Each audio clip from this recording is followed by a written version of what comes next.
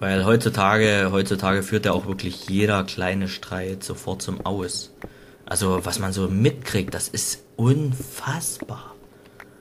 Leute, das, das sind solche Sachen, da denkst du, da denkst du gar nicht hin. Das gibt tatsächlich Leute, die streiten sich aufs Derbste, wer denn morgen einkaufen geht oder wer die Wohnung sauber macht.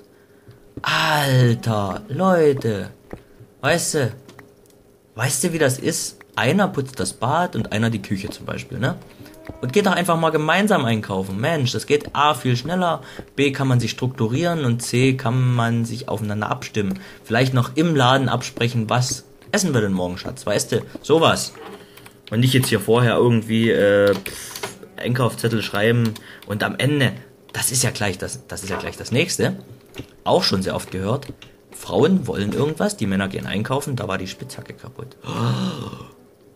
Frauen wünschen sich irgendwas, Männer gehen einkaufen und erlauben sich das Falsche mitzubringen. Was denkst du, was da los ist? Ich möchte, ich möchte jetzt nicht alle über einen Kamm scheren und ich möchte jetzt auch kein äh, Männer gegen Frauenkrieg oder sowas anfechten. Aber es gibt es tatsächlich. Ist ja auch andersrum so. Frau will irgendwas und Mann bringt das Falsche mit. Äh, andersrum. Gerade andersrum wollte ich sagen. Weil das andere Beispiel hatten wir ja gerade. Äh, also sprich jetzt, äh, Mann will was haben und Frau bringt das Falsche mit. Alter, Alter, das geht gar nicht. Wie könnt ihr nur? Wie könnt ihr nur eurer Frau das Falsche mitbringen? Oder wie könnt ihr nur uns Männern das Falsche mitbringen? Das geht gar nicht. Solche Sachen, das gibt's tatsächlich. Ja, und es gibt tatsächlich schon gescheiterte Ehen wegen Einkaufen. Ohne Mist. Alles schon gehört. Ja, und solche Kleinkriege, solche Kleinkriege immer. Boah, weißt du, ich plaudere jetzt mal so ein bisschen aus dem Nähkästchen. Meine Großeltern. Die streiten sich. Das geht dort jeden Tag. Da ist manchmal gar keine richtige Ruhe drin. Man denkt immer, mein Gott, die sticheln sich wegen jeder Kleinigkeit. Das ist aber bei denen so. Das ist aber bei denen so und das erlebe ich schon seit ja, also aktiv erlebe ich das ungefähr seit zehn Jahren so. Das sind auch noch nicht die Ältesten, weißt die sind beide noch so ein bisschen beschäftigt, gehen auch teilweise noch ein bisschen arbeiten, äh, Teilzeit und so, und Nebenverdienst, bla bla. Aber, Alter, ja, aber die sind glücklich. Die fahren im Jahr fünfmal in Urlaub, ja, sind dann einfach nur selig. Ja, und dann sind die daheim und ach, das ist unglaublich, das ist so unglaublich. Immer, immer, grundsätzlich. Grundsätzlich, ist so. Und das sind Sachen, da denkst du nicht hin, da denkst du nicht hin. Das ist so unglaublich, da denkst du gar nicht hin.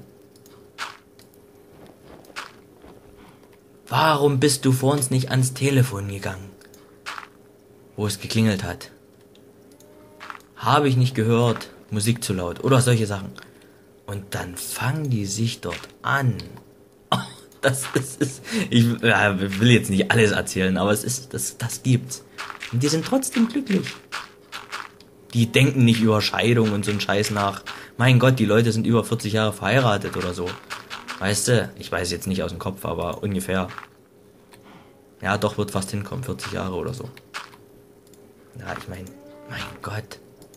Das passiert bei solchen Generationen einfach nicht mehr.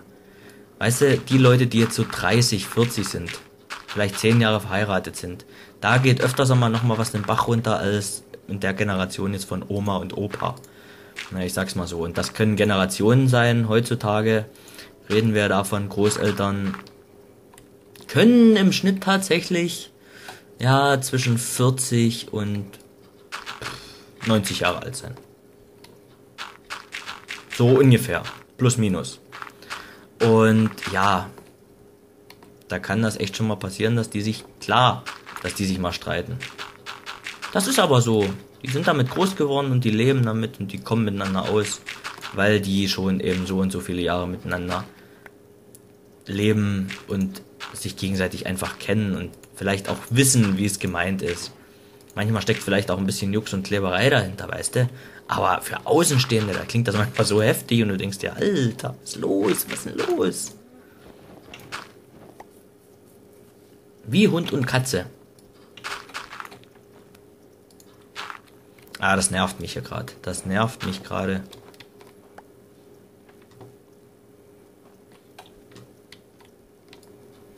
Lief vor uns echt mal flüssig, aber jetzt. Für den Arsch. Für den Arsch. Hier immer das, das, das nervt mich. Das immer diese Fails. Mein Gott. Mal jetzt einfach mal wild drauf los hier. Scheiß da drauf.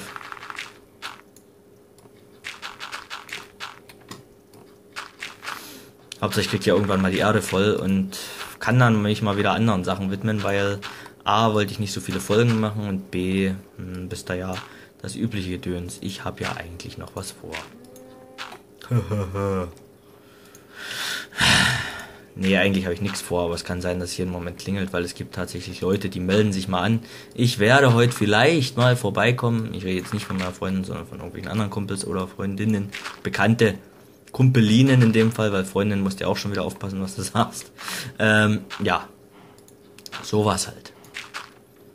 Und die schreiben dir dann nicht so, bin in 10 Minuten da, sondern die kommen einfach und klingeln. Ach, und du bist dann immer, hä, wer kommt denn jetzt? Was ist denn los? Bist gerade mitten in der Aufnahme, weißt du, auf einmal brettert's an der Tür. Oh, toll. So, warte kurz. Okay. Ich habe jetzt gerade mal wieder gleich mal den Effekt gehabt, jetzt so, jetzt gucke ich auf mein Handy. Es kann ja ein Wunder geschehen sein und die hat tatsächlich gefragt oder gesagt, dass in 10 Minuten da ist. Ist es aber nicht. Es ist einfach nichts. Weißt du, jetzt klingelt's. ich würde so lachen. So, jetzt muss ich. Ah, warte mal kurz. Ich trinke mal schnell meinen Kaffee aus. Hm. Boah, das war Eiskaffee jetzt gerade. Er steht ja einfach schon mal eine halbe Stunde. Ihr habt nicht mal dran gedacht. Ah, fail. Ja, der Tag, der Tag, der zieht sich so durch das Labyrinth. Ich habe heute das Gefühl, es gelingt mir nix. Der Kaffee, allererste Sahne, der war richtig gut. Der war richtig gut. Und dann lasse ich den hier kalt werden. Burg. Burg. Burg. Einfach weil sich dann die Geschmacksstoffe so entfleuchen. Es ist, als ob du Chlorwasser trinkst. Nicht, dass ich wüsste, wie das schmeckt, aber Irgendein Beispiel musste ich ja jetzt bringen. Entschuldigung, ich muss manchmal selber über meinen Scheiß lachen, den ich hier so von mir gebe. Alter Schwede. Das ist auch so schlimm geworden, das ist auch so schlimm geworden. Ich bin ein verfluchter Zyniker, ein Sarkast und ein Ironist. Ich hab das früher überhaupt nicht drauf gehabt. Heutzutage spreche ich das so fließend, dass ich selber manchmal nicht mehr weiß, was ich, ja, was ich jetzt gerade sage, ob das stimmt oder nicht. Furchtbar auf Arbeit, auch so schlimm. Auf Arbeit ist das auch so schlimm geworden. Oh. Die Kollegen fragen mich manchmal so, war das jetzt dein Ernst? Ich sag eigentlich nicht. Eigentlich nicht, weißt du. Oh, dieses eigentlich, das Wort eigentlich. Das Wort eigentlich gibt es eigentlich nicht. Das hat unser Fahrlehrer mal rausgehauen. Eigentlich ist eigentlich ein Unwort.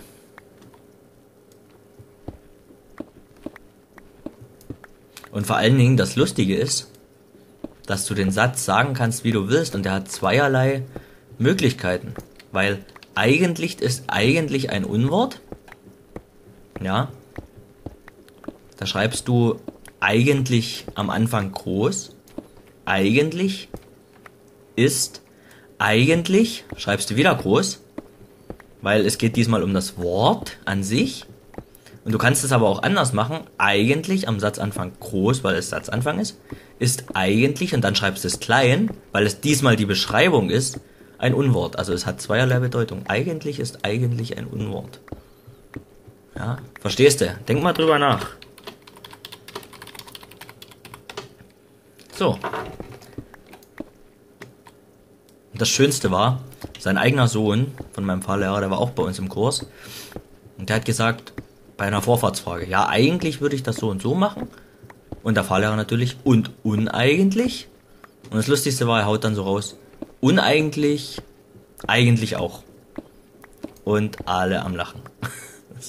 Bester Moment. Sowas prägt sich ein, auch wenn es schon wieder über acht Jahre her ist. Ja. Das waren noch Zeiten. Golden Times of Life. Ach ja. Okay, ciao.